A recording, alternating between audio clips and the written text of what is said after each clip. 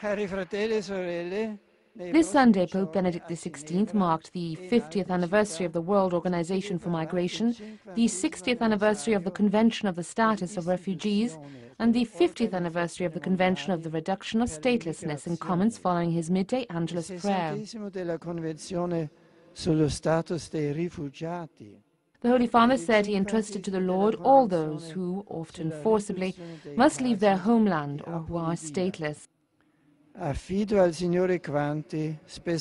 Holy Father encouraged solidarity for these people and prayed for all those who are doing their utmost to protect and assist these our brothers and sisters in emergency situations, even when it means exposing themselves to serious hardships and dangers.